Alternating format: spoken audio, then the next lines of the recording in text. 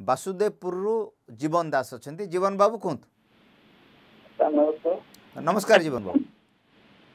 Sir ଏଇ ଯୋଉ ଆପଣଙ୍କ ଚ୍ୟାନେଲ ତ ମୁଁ ଦେଖି ଆସିଛି ଆପଣଙ୍କ ଚ୍ୟାନେଲ କେବେ ଟିଭିର ଆସିପାରିବ ସେଥିପାଇଁ ଆଜ୍ଞା ଜୀବନ ବାବୁ ଆମେ ଖୁବ୍ ଶୀଘ୍ର ଖୁବ୍ ଶୀଘ୍ର ଟିଭିରେ ଆସିବୁ। ଆମର ସବୁ ପ୍ରସ୍ତୁତି ଶେଷ ହେଇସାରିଛି।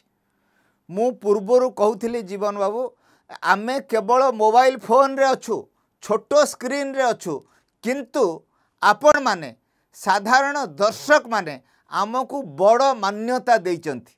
ଆମକୁ ଯେଉଁ ସମ୍ମାନ ଦେଇଛନ୍ତି ବଡ଼ ଟିଭିକୁ ଆପଣ ସାମାଜିକ ଗଣମାଧ୍ୟମରେ ଯେତିକି ଦେଖୁଛନ୍ତି ଆମକୁ ଅଳ୍ପ ଦିନ ଭିତରେ ଆନୁପାତିକ ହିସାବରେ ବହୁତ ଅଧିକା ଦେଖିଛନ୍ତି ଆମେ ସେଥିପାଇଁ କୃତଜ୍ଞ ଯେହେତୁ ଆପଣମାନେ ଅର୍ଗସକୁ ଆପଣଙ୍କ ମୋବାଇଲ ଫୋନ୍ରେ ବେଶୀ ସଂଖ୍ୟାରେ ଦେଖିଲେ ତେଣୁ ଆମର ଉତ୍ସାହ ଆସିଲା ଆମକୁ ସହଯୋଗ କରିବା ପାଇଁ ଲୋକମାନେ ଆସିଲେ ଆଉ ଖୁବ୍ ଶୀଘ୍ର ଆପଣଙ୍କ ଟିଭିରେ ଆପଣଙ୍କୁ ଦେଖାଯିବ ମହାପ୍ରଭୁ ଜଗନ୍ନାଥଙ୍କର ଆଶୀର୍ବାଦ ହେଲେ ଇଏ ଆଉ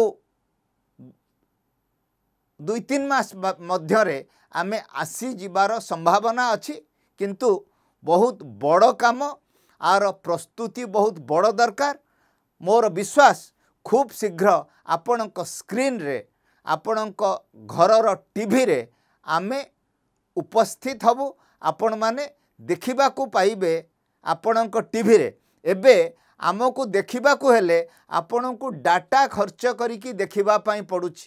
ଆପଣଙ୍କୁ ସ୍ମାର୍ଟଫୋନ୍ର ଆବଶ୍ୟକତା ପଡ଼ୁଛି। ଆପଣମାନଙ୍କ ଘରରେ ଟିଭି ଅଛି। ଟିଭିରେ ସବୁ ଟିଭି ଉପଲବ୍ଧ ଅଛନ୍ତି। ଆମେ ବି ସେ ଭିତରେ ପଶିଗଲେ ଯଦି ଆମେ ଆପଣଙ୍କ ପାଇଁ ଅଧିକ ମୁଖରତାର ସହିତ ଆପଣଙ୍କ କଥା ଉଠାଉଛୁ ଆମର ଦୃଢ଼ ବିଶ୍ୱାସ। ଛୋଟ ପରଦାରେ ଆମକୁ ବଡ଼ ମାନ୍ୟତା ଦେଇଛନ୍ତି।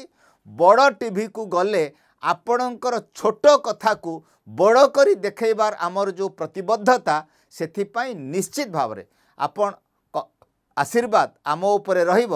କିନ୍ତୁ ଆପଣ ଯେଉଁ କଥା ଉଠେଇଲେ କେବେ ଟିଭିରେ ଆସିବୁ ଖୁବ୍ ଶୀଘ୍ର ଆସିବୁ ଆଉ ଆପଣଙ୍କ ପ୍ରସଙ୍ଗ ନେଇ ଆସିବୁ ଆଉ ଆପଣଙ୍କ କଥାକୁ ଉଠେଇଲା ବେଳେ ଯିଏ ଆମକୁ ବିରୋଧ କରିବ ତା ବିରୋଧକୁ ସାମ୍ନା କରିକି ଆସିବୁ।